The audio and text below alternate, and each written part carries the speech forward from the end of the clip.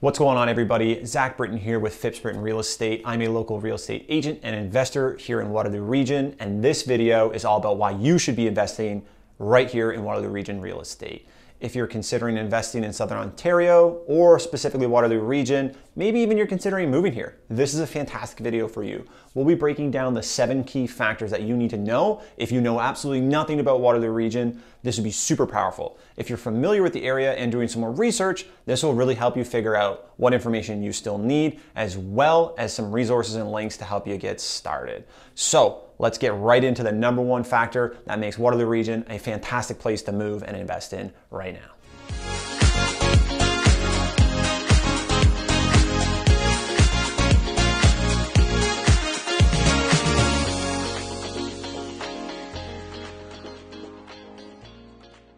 First and foremost, the number one factor that makes Waterloo Region an attractive place to invest in as well as live in is the location.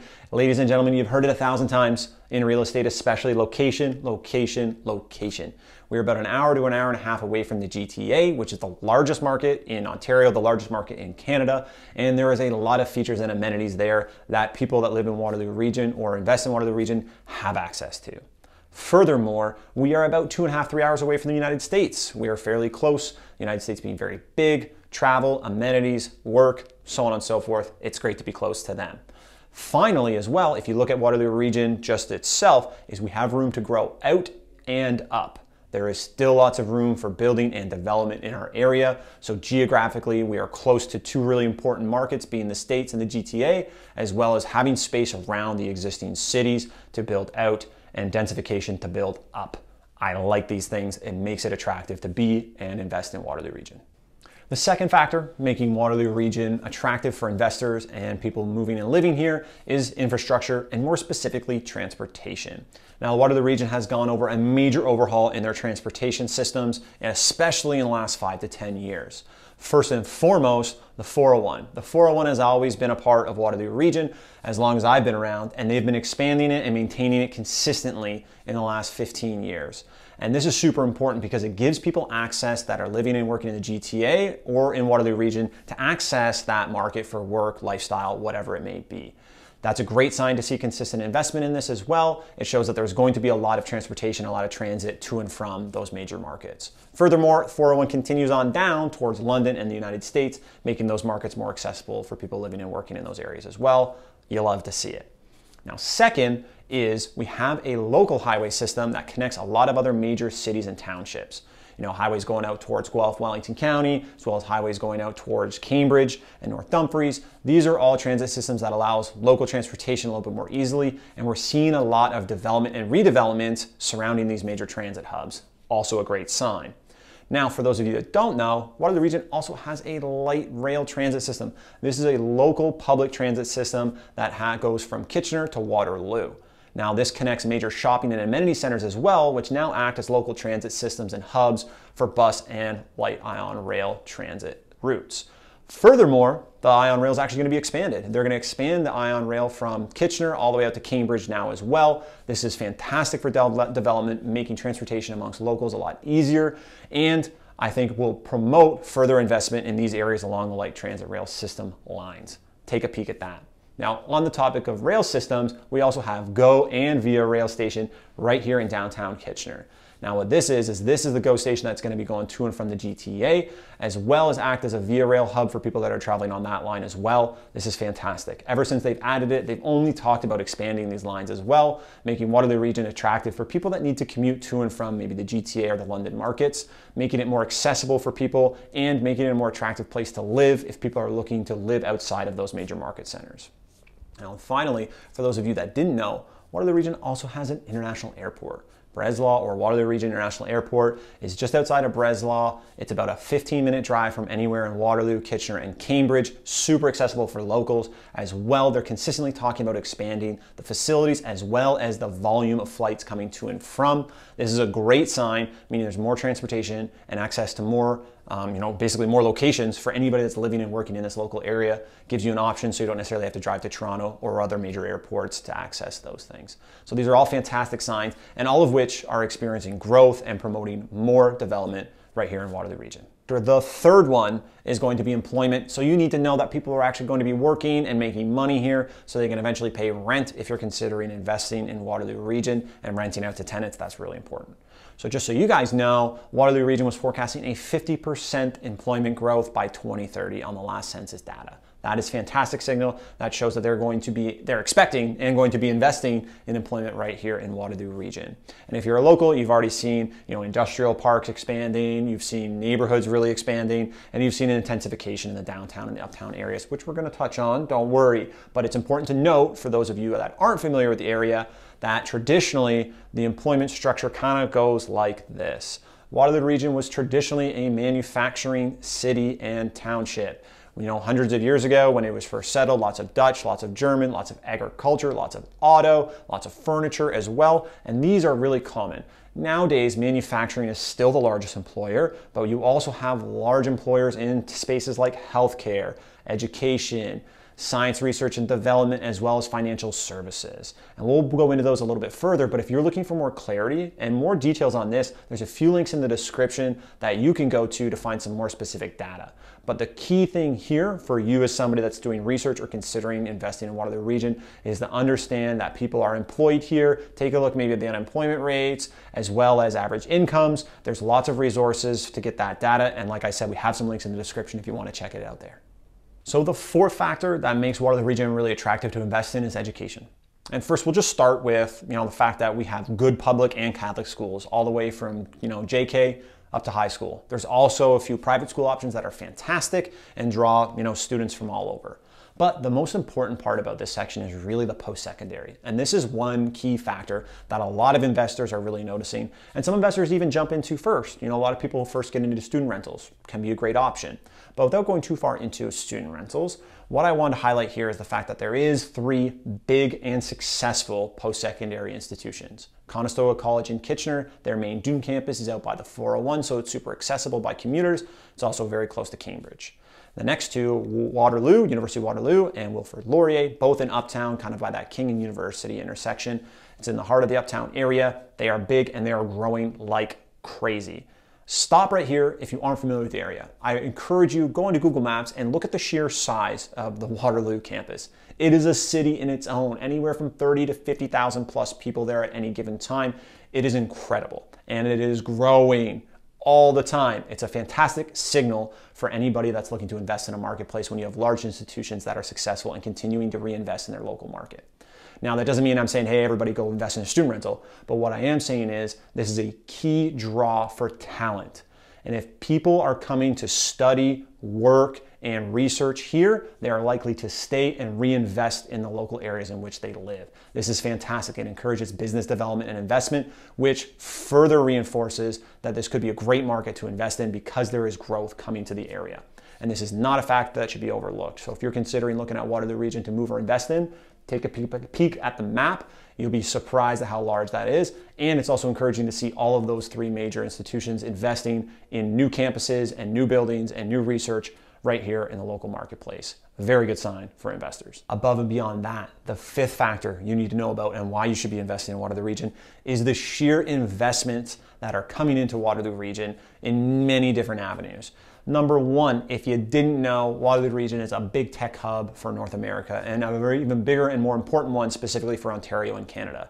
Dubbed the next tech town in North America, Waterloo region sees the highest investment per capita from venture capitalists.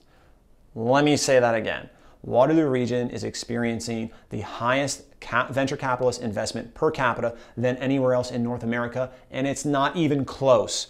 I have a link to the, to the graph in the data below in the description. It will blow your mind. We are blowing everybody else into the, out of the water. There's more venture capital money coming into the Water of the region per capita than anywhere else in the world. That signals to me that there is significant investment in the tech and research spaces right here in Waterloo region. That further encourages employment, more research, and more investment in local businesses, bringing more talent and keeping them here. And that is a fantastic signal.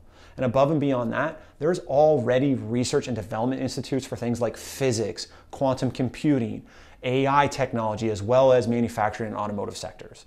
These are important sectors that we have already really established here in Waterloo region, but when we're seeing institutes like this that are consistently investing and doing research more, that further entrenches that these are here to stay and there's gonna be more investment dollars and more talent coming here furthering the cycle that there's people living, working, and investing in this local region. That is a great signal to me. Above and beyond that, there is significant investments in transportation hubs like the ION, like the GO Station, and like our international airport. This further, this further confirms to me as an investor that these are going to be areas that are going to be experiencing higher traffic and more volume, furthering the amount of people that are going to be coming through, staying, living, and working here. This all signals to me that Waterloo Region is positioned to grow. So, investments in the right things and significant investments in the right things signals to me as an investor that Waterloo Region is going to continue to grow in the future, and that's important. Now, the sixth factor is going to be the lifestyle. This is what attracts people to come here and, most importantly, stay living in Waterloo region. They stay and they live here, they're employed, they're investing in the area. Those are all great signs. And this is what you need to know if you're not familiar with the area. Now, I have grown up and lived in Waterloo region off and on for the last 25 years. This is my home. And there's a lot of factors that make this area a great place to live, and including but not limited to. We got multiple shopping centers and lots of big box and small local shops in different areas. You got your Belmont Village, you got your downtown Kitchener Market, you got your boardwalk with all the big box stores and everything that you're gonna need if you're living on that side of town. As well, you have lots of events. Waterloo region is big enough that we can get festivals and we can get concerts. We have a large concert hall, we have a large park that does the festivals downtown, and we also have lots of other things. Breweries, we got the Kitchener Rangers, we got a junior hockey team here, guys big city stuff. That's what I'm talking about. And we also have lots of access to outdoor activities. Lots of small markets and hamlets and towns around Waterloo region that have fantastic trails. And not to mention the Grand River, the big ticket river that's going through Waterloo region. This has lots of trails and lots of events around it, as well as lots of super sweet little spots to stop along the way. For those of you that aren't familiar with Waterloo region, Uptown Waterloo, lots of bars and clubs. That's where all the students are. That's where a lot of local businesses are. Old school, really established. Downtown Kitchener, very similar feel. Lots of business, lots of restaurant, lots of amenities. And then over near Cambridge, you have a couple different sections between different Galt, Hespeler, downtown area that are going to offer all the amenities you're going to be and need if you're in the cities. Furthermore, your driving distance to a lot of other amenities, including little towns and cities like your Guelphs, like your Elora, not too far from beach towns, not too far from wine country, and a driving distance from cottage country as well. So not only are we located close to other things you're gonna need, but right here in Waterloo region, it is big enough and diverse enough to offer enough fun for you and the whole family. This is important to note as somebody that's thinking about moving here, but as well as an investor, you're going to want to know that this market is an area that has things that people are going to enjoy, so they're actually likely to stay and grow in that local marketplace. So as an investor, I want to make sure I'm looking at areas that have things and amenities to keep people living there, and Waterloo region has that in spades. Fun fact on a lifestyle note, did you know Waterloo region hosts the second largest international Oktoberfest in the world? Pros to that. Now, the seventh and final, and arguably the most important factor on why Waterloo region is an awesome place to invest in is the real estate market itself. And we're just gonna pause right there. It's important to note that Kitchener, Waterloo, and Cambridge are the three largest cities and that make up the bulk of Waterloo region, and they're super old cities that have grown into each other. And that's important to know is understanding that Waterloo region is very diverse in the offerings of types of real estate investments that you can actually make. And it's important to note that each of these old cities that have grown into each other have their own downtown cores with their own century homes kind of surrounding. And your downtown core has your things like your condo buildings, your apartments, your mid rises, and a lot of the amenities. Outside of that, the majority of the cities were developed between the 50s and the 80s by a lot of German and Dutch developers. They're building, you know, larger frontage compared to what you get nowadays, larger depth, bigger lots, more mature, some custom neighborhoods. These are a little bit more established and what we would consider maybe midtown neighborhoods. All three of those major cities, Kitchener, Waterloo, Cambridge, have them. And all three of those cities also have newer developments on the outskirts of the town, which would be your newer suburbs your you know, neighborhoods that are 15 years or newer, and pre-construction neighborhoods that are currently being developed. Important to see and important to note that those areas are still getting built out. There is room for outside expansion, not just intensification and building up in these local markets. That's great to know as investors, but also important to know that there's a lot of different types of investments you can make in real estate, from residential, from older areas to midtown to newer areas, as well as multi units, commercial mixed use, industrial. There's a lot of different types of investments you can make as a real estate investor here in Waterloo region. And now, finally, important to note that we have all these awesome things, but the demand is still very strong. There is still very strong demand from locals, whether it be people moving or investors, as well as other people moving and investing in Waterloo region from outside areas. And it's also important to note that Waterloo region is still relatively affordable considering its proximity to areas like the GTA and other markets that are a similar distance. Above and beyond that as an investor, and I'll leave you with this, is there is still cash flow positive properties that you can find on market in Waterloo region. This is a fantastic thing for investors, especially for myself as an investor. I look for cash flow positive properties. And the fact that there are still cash flow positive properties, and what I say about that is even if you're going an 80 20 mortgage, a lot of these properties that we're looking at, there is still a lot of investment properties available that will offer positive cash flow in Waterloo region, making it attractive for myself as an investor and potentially for you. So for those of you that are looking to do some more research on Waterloo region, we have some helpful links in the description to get you started. We are also really active in the comments section, so leave us a comment. Let us know what you think about Waterloo region, any specific questions you have, and we'll get back to you in the comments below.